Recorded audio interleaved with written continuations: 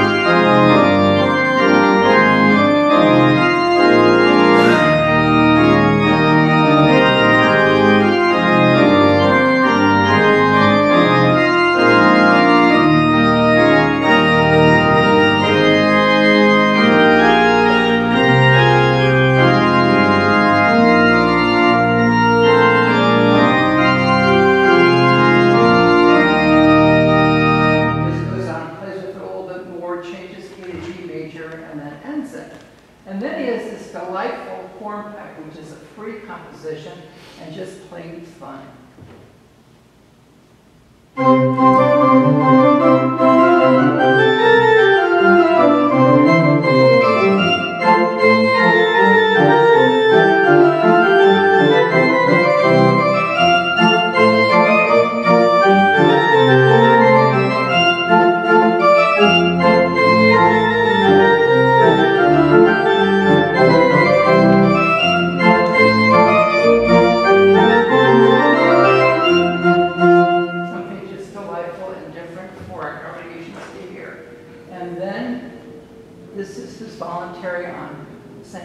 mal.